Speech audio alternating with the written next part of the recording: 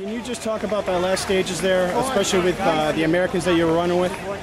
You know, I actually, I had no idea where I was at. I figured I had to be top 20, but uh, I, uh, I just, I just could see people ahead of me, and that's all I focused on was just the next person in front of me. And I stopped taking splits. I didn't care anymore about time. I had to throw that out the window. Just tried to focus on bodies, you know. At what point did you did you did you care about the time? Honestly, about 15, 16, I hit a couple of really slow miles there, and I just thought, you know what, don't worry about it now. It's not, it's not worth it. You're not gonna run a fast one.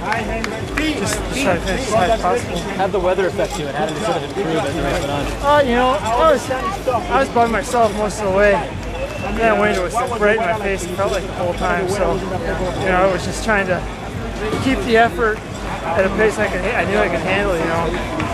Because uh, yeah, you know, it was just in your face the whole time. Combined with some of the elevations during the race, did that hit you hard at all, or were you was that something that you were planning for, comfortable Yeah, with? you know, we hon- honestly we trained on some pretty hilly terrain, and that wasn't really what bothered me. It was mostly the wind. Uh, and uh, you know, actually, I, I passed most of the people on going uphill. You know, so